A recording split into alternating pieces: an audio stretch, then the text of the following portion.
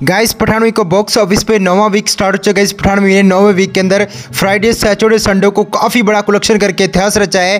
Guys आपको जैसा कि पता है पठान वीक का कोई भी वीक्स हो, आपको हमेशा सैटरडे संडे को पठान की कमाई में एक मैसिव जंप देखने को मिलता है। इस तरह पठानवी ने नौवे वीक के अंदर सैटरडे संडे को कमाई करके एक नया रिकॉर्ड कायम कर दिया है।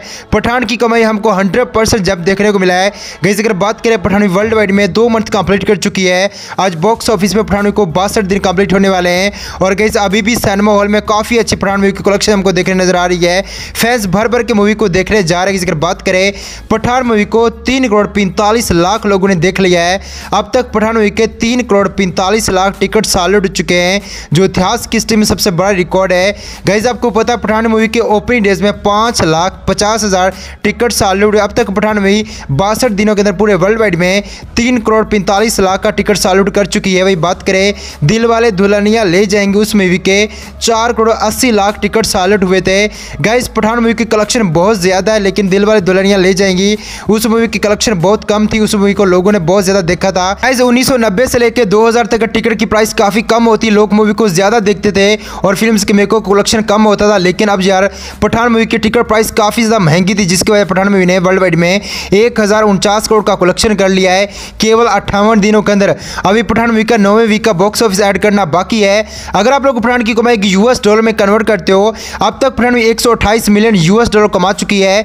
पठानवी को बॉक्स ऑफ़िस में नौवा वीक स्टार्ट हो चुका है। पठानवी ने आठवें वीक के अंदर इंडिया से एक करोड़ सत्तर लाख रुपए का कलेक्शन किया है और नौवें वीक के अंदर पठानवी ने फ्राइडे को पहले दिन पूरे पंद्रह लाख का कलेक्शन किया था सैटरडे को पचास लाख और संडे को पठानवी ने वर्ल्ड वाइड में सत्तर लाख रुपए का कलेक्शन करके तीन दिनों के अंदर एक करोड़ के आंकड़े को वर्ल्ड वाइड में क्रॉस कर दिया। गया बात करें पठान मूवी प्राइम वीडियो पे अमेजोन वीडियो पे उनतालीस कंट्री में नंबर वन ट्रेंडिंग चली गई। मूवी ने अपने O T rights prime video को सेल आउट करके पूरे सौ करोड़ का कलेक्शन वहीं से हासिल किया है। जैसे अगर बात करें पठान मूवी के ओ टी वर्जन की कलेक्शन को ऐड करके पठान मूवी वर्ल्ड वाइड में ग्यारह करोड़ का हिस्टोरिकल कलेक्शन कर चुकी है।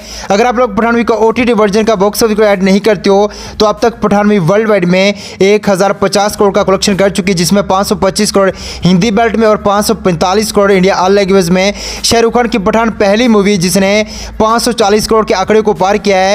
इससे पहले शाहरुख खान की एक भी ऐसी मूवी नहीं थी जिसने 300 करोड़ के आंकड़े को पार किया हो, जबकि प्रभास की तीन ऐसी मूवी जिसने 300 करोड़ के आंकड़े को पार किया है। सलमान खान की भी तीन और आमिर खान की भी तीन है, जिसने 300 करोड़ के आंकड़े को पार किया है। शाहरुख खान की नेक्स्ट जवान और डंकी 300 करोड़ के आंकड़े को पार करके सलमान खान और प्रभास के साथ इंटर हो जाएँगे।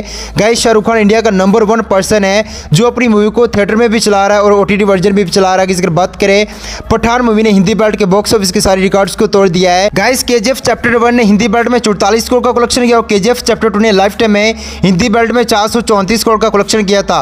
बाहुबली वन ने हिंदी बेल्ट में एक करोड़ का कलेक्शन किया था, जबकि बाहुबली टू ने हिंदी बेल्ट में लाइफ टाइम में पाँच करोड़ का कलेक्शन किया था, जबकि पठान में इंडिया में पाँच करोड़ का हिंदी बेल्ट में कलेक्शन कर चुकी है। और अगर अगर पठान मूवी पठान टू आती है तो गाइज़ आप सोचो बॉक्स ऑफ़िस पे क्या धमाल मच जाएगा। अब तक इंडिया में पाँच ऐसी मूवीज़ इंडिया की ब्लॉकबस्टर मूवीज़ हैं, जिन्होंने एक हज़ार करोड़ के आंकड़े को पार किया है। जिसमें दंगल मूवी नंबर वन पे आती। दंगल मूवी का बैट केवल सत्तर करोड़ था। दंगल मूवी ने लाइफ टाइम में पूरे वर्ल्ड वाइड में इक्कीस करोड़ का कलेक्शन करके साउथ इंडस्ट्री बॉलीवुड इंडस्ट्री को चौंका दिया था। नंबर टू पे बाहुबली टू आती, जिसका बैट दो करोड़ था। बाहुबली टू ने लाइफ टाइम में अठारह करोड़ का कलेक्शन किया है। नंबर थ्री पे के चैप्टर टू आती, जिसका बैट केवल सौ करोड़ था। के चैप्टर टू ने लाइफ टाइम में बारह करोड़ का कलेक्शन किया है। नंबर फोर पे ट्रिपल आर मूवी आती गई ट्रिपल आर मूवी का बजट छह करोड़ के करीब था। और इस मूवी को बहुत ज़्यादा लागत से बनाया गया इस मूवी लाइफ टाइम में करोड़ का कलेक्शन किया। गया ट्रिपल आर मूवी का बेट बहुत ज़्यादा था, लेकिन इस मूवी ने कलेक्शन कम किया। ट्रिपल आर मूवी को वर्ल्ड वाइड में 2000 करोड़ का कलेक्शन करना चाहिए, जिस तरह इस मूवी का बजट था। और इस पठान मूवी का भी बजट 250 करोड़ है। पठान मूवी वर्ल्ड वाइड में एक हज़ार पचास करोड़ का कलेक्शन कर चुकी है। अगर आप ओ टी राइट्स के सेल आउट को ऐड करते हो, पठान अब तक वर्ल्ड वाइड में ग्यारह करोड़ का कलेक्शन कर चुकी है। और इस Pathaan movie lifetime collection में के चैप्टर टू और ट्रिपल आर मूवी के रिकॉर्ड को तोड़ देगी। आज के लिए इतने मिलते हैं नेक्स्ट वीडियो में। Good bye take